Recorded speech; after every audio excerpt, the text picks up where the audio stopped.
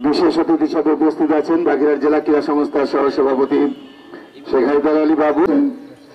যতীন্দ্রনাথ বিশ্বাস। মাঝে আরও উপস্থিত আছেন বিভাগীয় ক্রিকেট কোচ এস এম। শুরুতেই মাননীয় প্রয়োজনীয়তা রয়ে গেছে।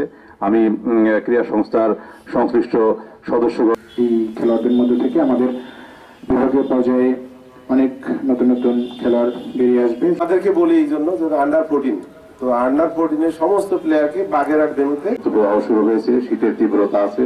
আমাদের এখানে শীত সহনীয় পর্যায়ে আকাশ রুদ্র করজ্জল জল। তাহলে আমরা আমরা আমরা